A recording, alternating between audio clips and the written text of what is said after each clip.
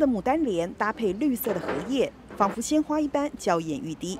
迎接慈济大家庭的新成员，文山区慈济志工承担胸花制作，目标五千一百朵。这很漂亮的莲花，其实我们在做制作的过程当中，满心的欢喜，要来接引菩萨。往年在胸花的制作上都是半成品的花材组装，今年不同以往，单色红莲变成了青红两色的牡丹莲。组装的步骤更为繁琐，但有其特别寓意。从呃一个花的铁丝杆子，然后再把莲蓬加上去，像核心外面的和气，然后到里面的花瓣、户外，然后到整朵的呈现是一个协力。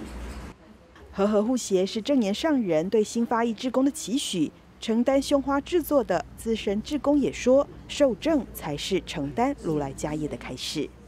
希望以后会更多人来带这个胸花，一起走菩萨道。我虔诚的祝福，能够别上这一朵花的菩萨，永葆清净的心，然后精进在慈济的菩萨道上。”就是这份祝福的心意，让这朵胸花别在新受证委员或慈诚的身上，能更衬托出他。